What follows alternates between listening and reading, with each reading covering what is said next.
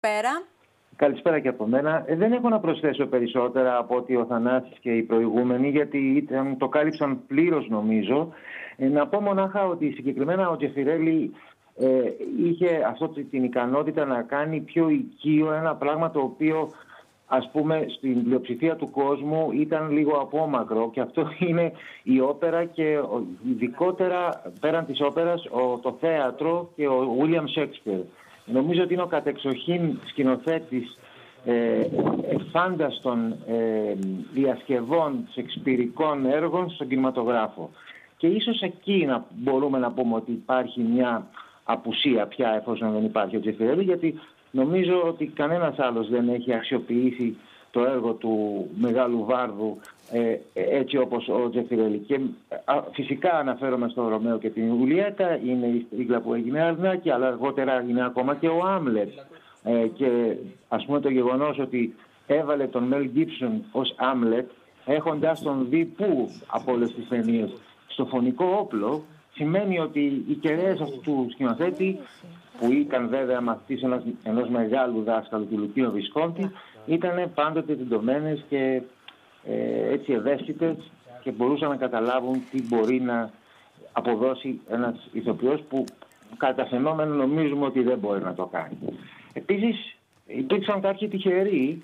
Ε, ο Τόμ Κρούζ για παράδειγμα έκανε το κινηματογραφικό του ντεμπούτο στο, ε, εμφανίζεται για πρώτη φορά στο κινηματογράφο σε ταινία του Φράνκο Τζεφριέλη. Μια τέλειωτη αγάπη, μια ταινία στην οποία πρωταγωνιστούσε η Brooke Shields το 1981.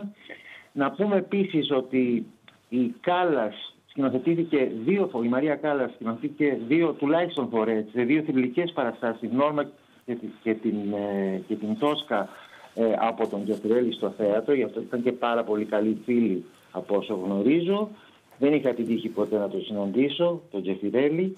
Ε, αυτά πάνω κάτω. Α, και μία ακόμα έτσι λεπτομέρεια. Ναι. Ε, είχε δύο υποψηφιότητες για Όσκαρ. Δεν ήταν μόνο το, για το Όσκαρ σκηνοθεσία που δεν πήρε για το ε, Ρωμαίος και Ιουλιέτα. Ήταν υποψήφιος και για τα σκηνικά, γιατί είχε άμεση επαφή με το θέατρο και μια οργανική θα έλεγα επαφή με το θέατρο. Είχε κάνει τα σκηνικά μιας ταινίας που είχε ο ίδιος σκηνοθετήσει, τη Στραδιάτα, για την οποία ήταν υποψήφιος για τα Όσκαρ σκηνογραφίας.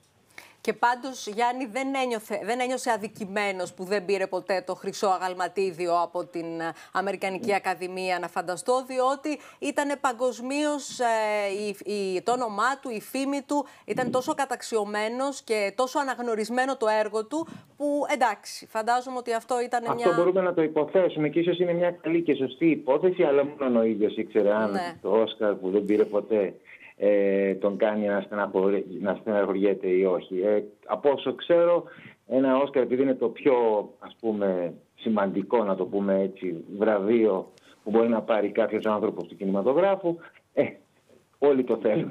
Έχεις δίκιο, έχεις Πόσο μάλλον όταν έχουν βρεθεί τόσο κοντά για να το πάρουν. Προέκυψε από τις πληροφορίες για τη ζωή του που είχαμε πριν από λίγο από το διεθνές ρεπορτάζ μας, ότι, ναι, εν πάση ναι. περιπτώσει, ήταν τόσο ικανοποιημένος από όλα τα άλλα και από ναι. τη διεθνή αναγνώριση που δεν είχε να αποδείξει και κάτι.